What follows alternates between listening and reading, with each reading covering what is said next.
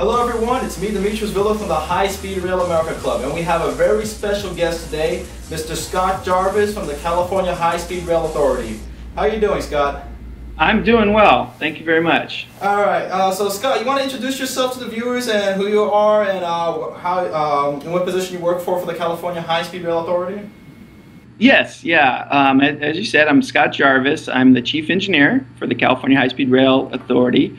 So in that role, I'm responsible for the delivery of the program. I uh, primarily focus now on the, the civil infrastructure being delivered. So um, those uh, delivery functions related to engineering, such as engineering, design, construction, those are really my, my focus areas. Right. Okay, and uh, according to here, you've worked for 26 years at the California Department of Transportation. Um, what were some of your biggest challenges in that department and how you're bringing the, that experience over to the high-speed rail sector? Okay.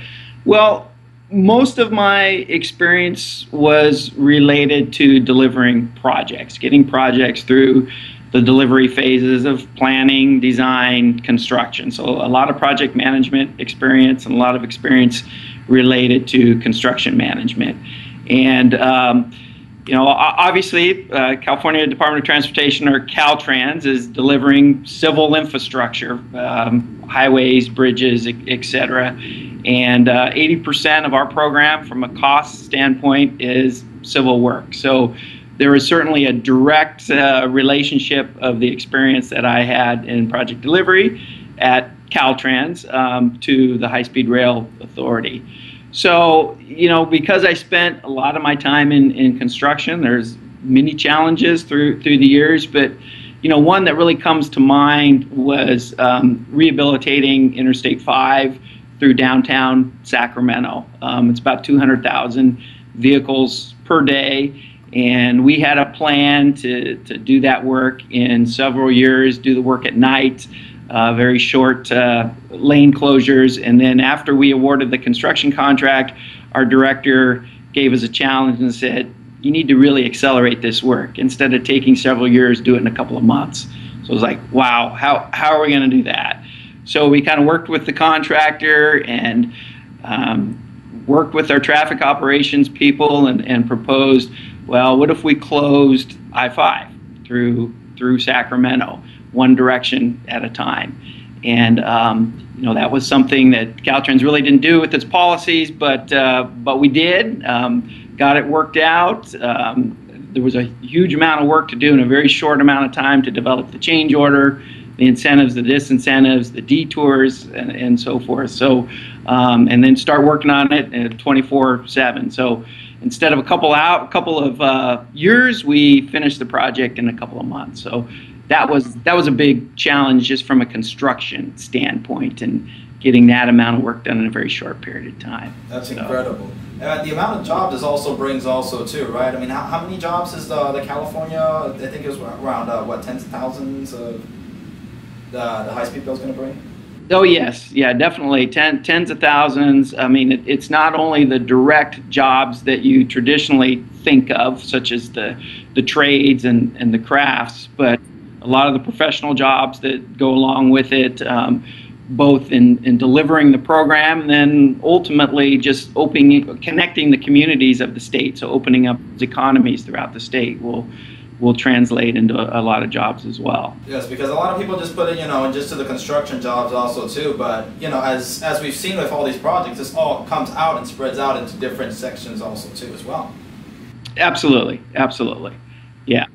Perfect. So um, Robert Eckels of Texas Central Railway, he's the president of that company. Michael Reininger of All Aboard Florida. They, they all have you know huge uh, projects that everybody knows about also too as well that are in the high-speed rail. Um, they believe that their projects, once completed, will dispel any notion of it being a boondoggle when people see high-speed rail up and running. Does this notion also apply to the California high-speed rail project also too as well?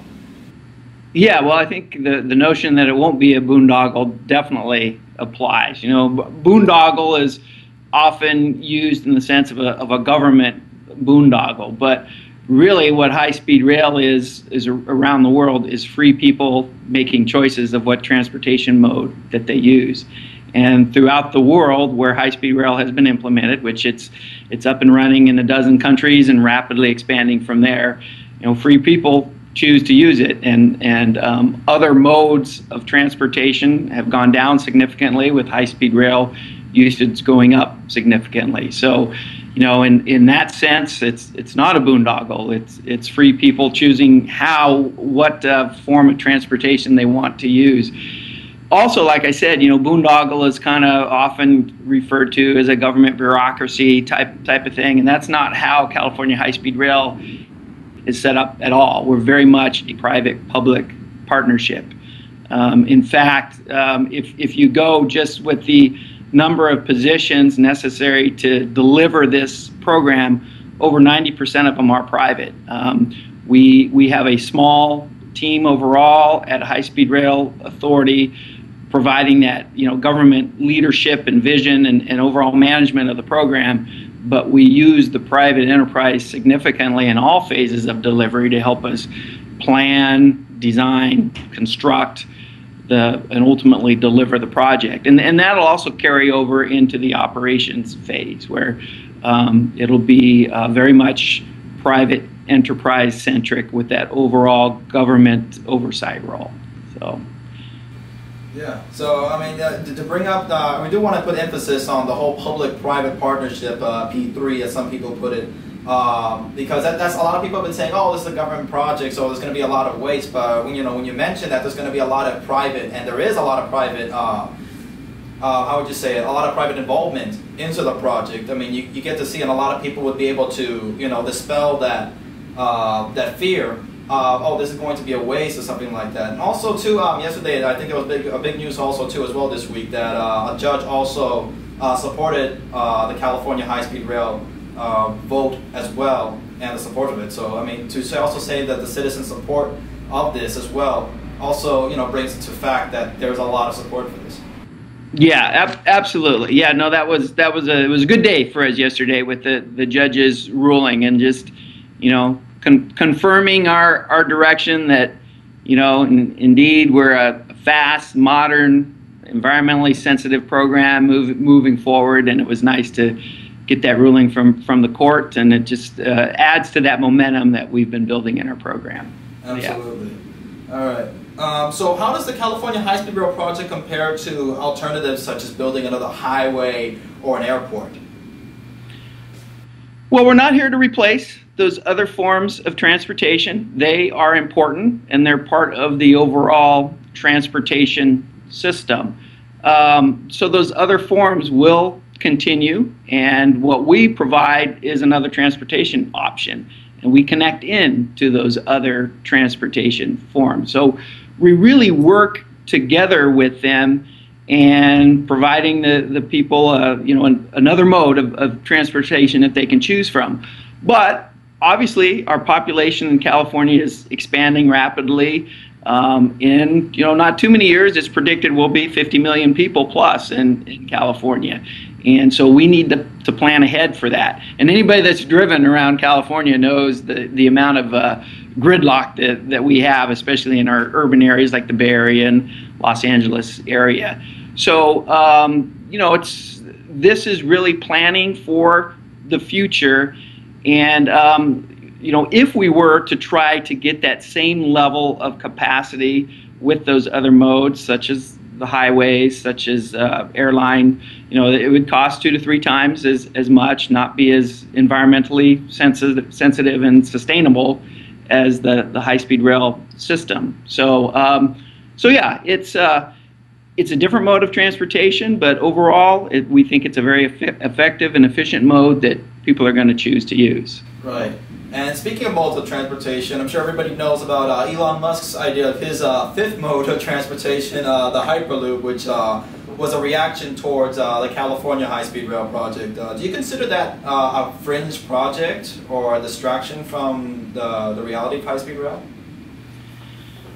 Uh, you know, I don't really consider it a, a, distraction. I mean, people, it's human nature. We're very interested in new and exciting forms of, of transportation, but high speed rail is a proven technology. as I said, used in, in a dozen and growing countries through, throughout the world. Hyperloop isn't there yet in its development. I mean, so I can understand why people are intrigued by it. It's so so different, and um, you know, it, it would be so so cutting edge, but in reality, it, it's not a proven technology yet. There's a lot of things that would have to be worked out uh, before it would become operational.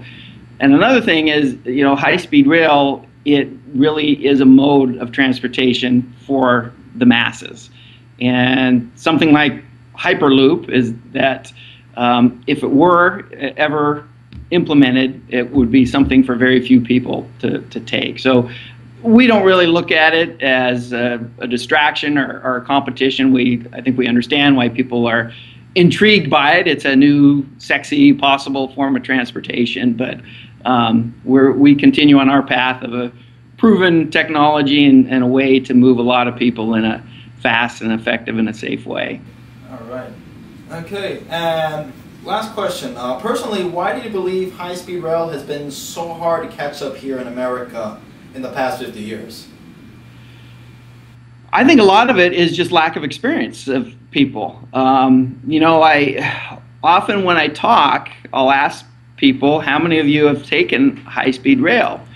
And the people that raise their hands pretty much unanimously are big fans of high-speed rail. So if you've never ridden or experienced a form of transportation like high-speed rail, it's probably hard to really visualize it and really be a big proponent of it.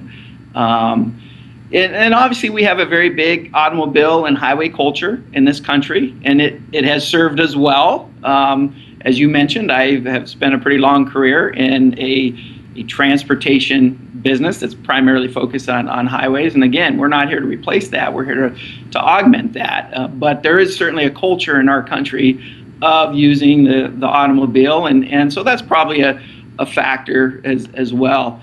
And then I also just think that, you know, big new projects in this country are very difficult to, to deliver now. I mean, you really think about um, big public infrastructure projects, capacity increasing um, transportation in this country. We haven't had anything since the interstate program, which was initiated in the 50s. I mean, we've had a lot of infrastructure projects, but a lot of them are uh, rehabilitations or improvements of existing infrastructure. But something completely new like this, it's been many decades since that has been uh, implemented.